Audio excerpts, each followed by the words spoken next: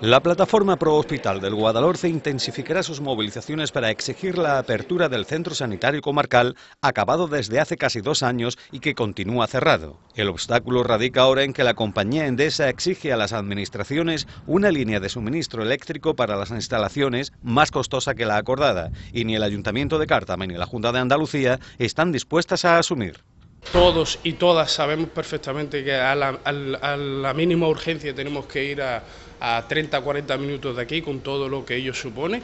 ¿eh? Más de 115.000 urgencias al año se derivan de aquí del Valle del Guadalhorce al hospital eh, clínico, más de 35.000 eh, intervenciones quirúrgicas y lo que supone el 35% de, los, de, la actividad del, del hospital clínico.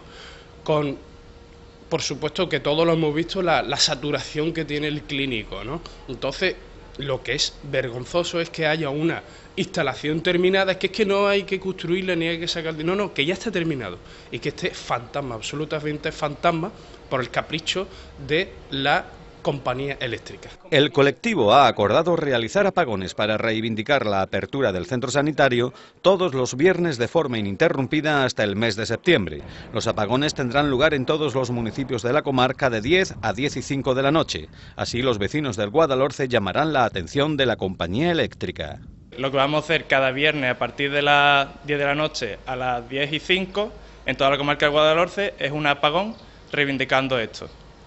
Y aparte también vamos a recoger firmas en los locales de Coin, así que quien quiera sumarse a, la plataforma, pues puede firmar tranquilamente.